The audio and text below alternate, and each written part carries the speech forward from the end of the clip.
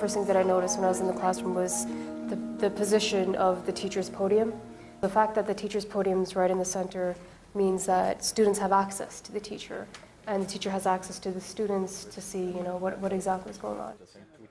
Not having a front of the class means also that you don't have a back of the class.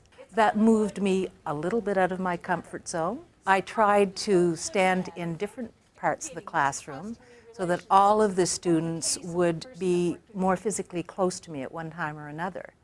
I think there was a little bit of a discomfort still for the students who were used to the more traditional, let me just go and hide and be quiet in the back of the class. I mean, there's no place to hide in this classroom. Everybody is engaged. I'm now reading the student learning logs. For the first time, I have not seen any teen complain about somebody who was not engaged, who pulled out, who had an easy ride, who was a couch potato. Now, isn't that something? The active learning classroom is designed such that it compels students to participate because of the round tables, for example. We can work in group, and in small group we can just share what we are learning. Students have misconceptions about language, and then I might say, well, no, it doesn't work like that. Check. Just for fun, test what I say. Type in comma that. See how many hits you get. Do it now, like right now. That way you can actually check the idea online right away and to confirm this idea. Maybe, uh, maybe she has particular activity I like is the, the activity where we write on the board.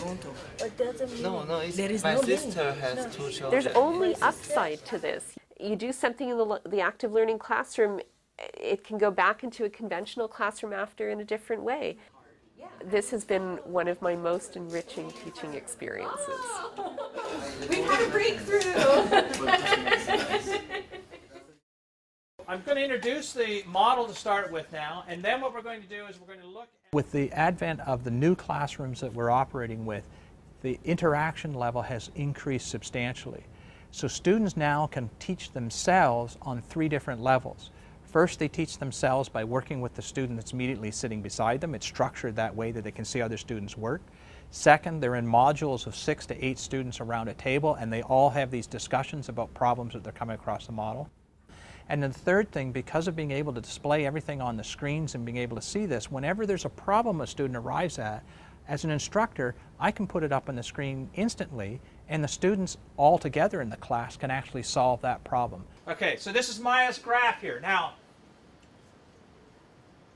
something's happened here, right? What have we done? This classroom really was great for a modeling course. I really don't even understand how it could have been taught without um, an interactive dynamic between um, the professor and students. This process of interaction mimics actually the research process uh, uh, quite well. So we teach them in education, or they think in education, that being wrong isn't good. Actually, in this course, being wrong is really good because it actually helps you learn the next stage. I believe that people learn modeling through experience. I think I actually teach about 90% less than I did before, and I facilitate now students learning how to model themselves.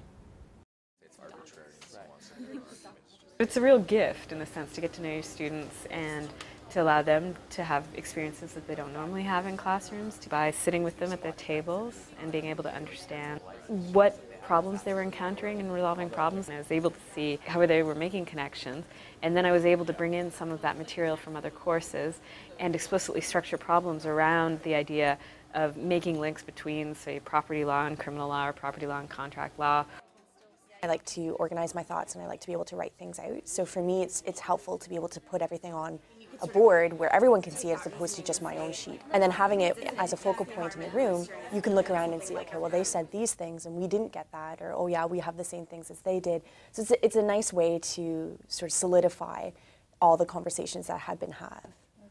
When they write on the walls, they're accountable to the room as a whole for what they've written um, they become responsible for each other's learning. At certain tables, it became clear that when one person hadn't read, that that was seen as letting the table down. It made them responsible for each other's learning in a way that I thought was really interesting. I've, I've kind of been won over. I've had a, I've had a great time. It's been the class I enjoy the most because I'm the most engaged in it. I'm a big supporter of this kind of learning. I think it actually transfers important responsibilities back to the student that I think have sat on the shoulders of the professor. And I think that's always a good thing when students are more invested in their education and more invested in what they're learning. Um, and this space certainly um, conduces to that kind of thing. So.